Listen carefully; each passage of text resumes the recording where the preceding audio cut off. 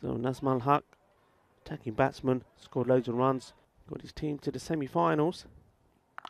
Oh, and he's crashed that away, and that's the difference. Bulle,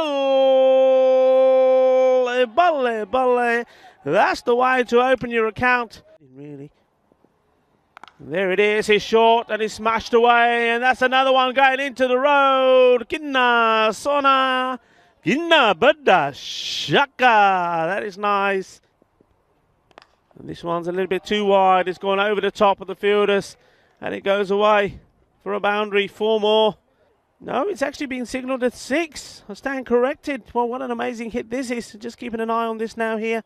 And yep, all the way over.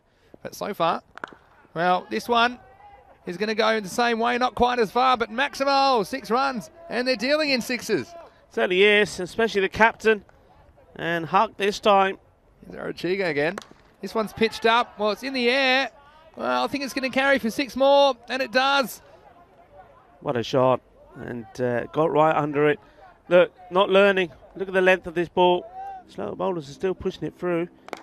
And that one, it's been hit, and it's going to be six more. And it's just fireworks at the moment from the bats of these two. Fireworks around this ground. Wicket. And this one was in the corridor, but the shot was matched as well. Look at that. Delightful timing once more, and even on this uneven, rather bouncy outfield and going up the hill, is still enough to take it all the way. What a lovely shot this one was. Around the wicket. And this is a hard hit shot. And oh, it's going to be six runs despite the flying, diving efforts of the fielder there. Kudikara, it's six runs yeah. and it's a half century. Well batted indeed to Nazmul Haque, the captain. Here is the last ball. I'm confident now with the captain on strike. And he sends it to the boundary, and that's going to end match one. It's an easy win for Venezia, and they chase down this target of 82 in only 6.1 overs. Yeah, and the captain doing it in style with the boundary, and that takes him to 61 of just 17 deliveries.